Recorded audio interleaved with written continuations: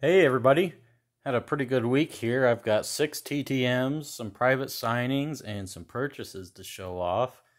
I uh, got a few more Storm Chasers in. I uh, got a hockey and uh, some stuff for the set, so I'll get right into this here. My first one is a one of one in 13 days from former Storm Chaser coach Ryan Powers, who is currently the hitting coach for the Quad City River Bandits in Davenport, Iowa uh, which is the Royals single A team. All right, next one is a two of two in 14 days from uh, former Storm Chaser pitcher and uh, former big leaguer. I don't remember who he played for in the big leagues, but uh, we got Clayton Mortensen. Clayton Mortensen. um, great signer. Uh, he, he's coaching somewhere now too. I don't remember who he's coaching with though, but uh, he's always been a great signer, as you can see here. He's got a pretty interesting signature there as well. All right, next one, another former storm chaser here. It's a one of one in ten days from Joe Patterson, and I believe he was also a big leaguer, maybe the Orioles. Don't quote me on that. And the final storm chaser here. Uh, this is a. He just retired his jersey last year in Omaha. He's the winningest manager in Omaha baseball history. It's a five of five in six days. He only lives an hour away from me, at best. I got Brian Poldberg, which he did retire.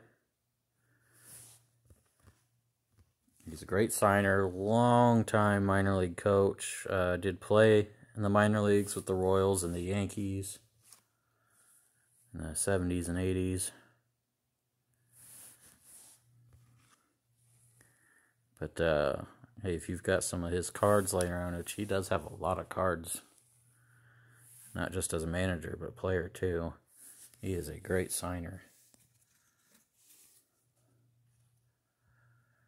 Alrighty, next one is a two of two in 17 days from a recently retired player. Uh, baseball family, we got Austin Rom or Andrew Romine. Of course, his brother is Austin, who's the catcher, and then their father is Kevin Romine. So we got him on that heritage there, and he signed a 4x6. Of course, uh, I think he does accept donations for charity. I did not send one, so maybe that's why he personalized everything, but I'm perfectly fine with that. Uh, at least at one time he took donations. I don't know if he's still doing that or not because he signs regardless. All right, and the final one, we got a hockey return here. It's a 3 of 3 in 15 days from an excellent player. Uh, we got Darius Kasparaitis. Great player. Here, here he is on his uh, rookie card here on the 92 upper deck. And his I believe this is his only Avalanche card on the 2003 Pacific.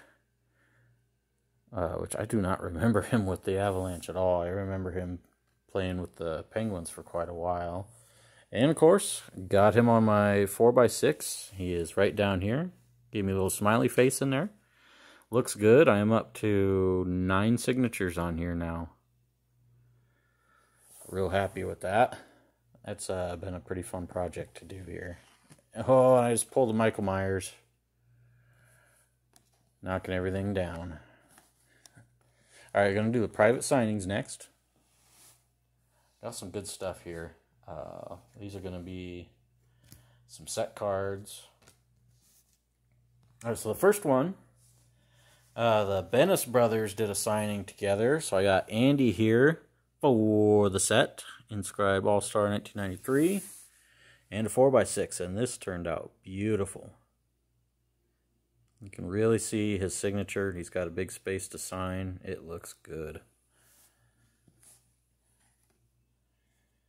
and uh, of course his brother Alan was there got him for the set was a first round pick in I don't remember what year and got current Braves coach got Eric Young